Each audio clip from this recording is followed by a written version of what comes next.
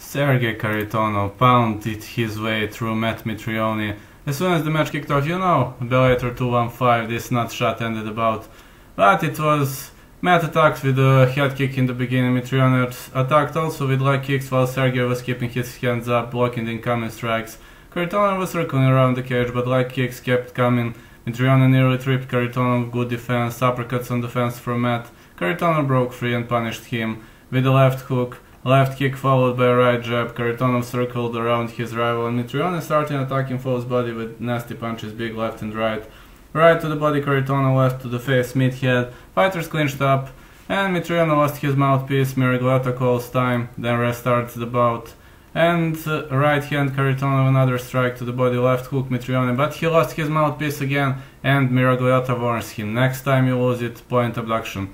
It was a close round, but in the round 2 well, we've seen pretty much uh, great action by Sergei Kharitonov, whose face was bleeding, he was looking seriously hurt, but he attacked Mitrione with the left hand, delivered a huge body shot, knocked him down, Mitrione lost his mouthpiece again, big left hand, right uppercut hurt Matt, and hammer fists from Kharitonov who ended the bout in a violent fashion. Great victory by Sergei Kharitonov.